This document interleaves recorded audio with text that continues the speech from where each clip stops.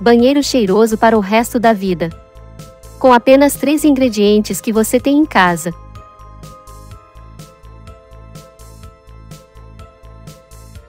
Para começar, adicione 80 ml de vinagre de álcool em uma vasilha.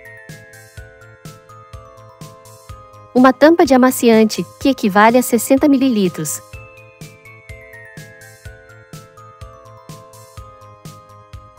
O amaciante pode ser o que você mais gosta, use aquele que mais lhe agrada.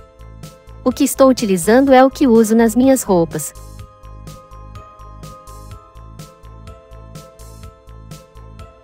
Adicione 80 ml de sabão líquido e pode ser qualquer um de sua preferência. O que estou utilizando é o neutro. Por último, adicione 50 ml de água em temperatura ambiente. Misture tudo muito bem e já me fala aqui de onde você está nos assistindo, para que eu possa te mandar um abraço especial.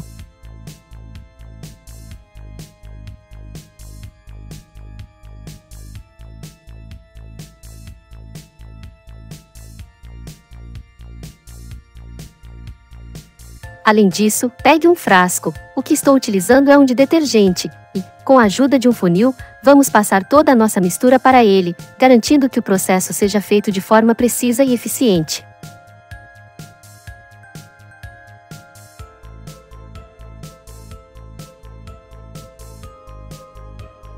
Com tudo adicionado no nosso frasco, tampe e garanta que não vaze nada para que você possa misturar bem, como estou fazendo aqui, isso vai ajudar a unificar tudo.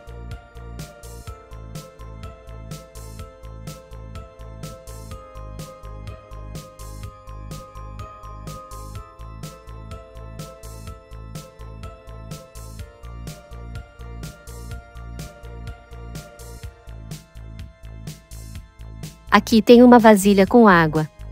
Você irá fazer esse processo no reservatório de água do seu vaso sanitário. Toda vez que você der descarga, o cheirinho irá junto. Com isso, seu banheiro ficará cheiroso para sempre. Comente aqui se você faria essa dica aí na sua casa. Obrigada por assistir a esse vídeo. Um beijo e até a próxima!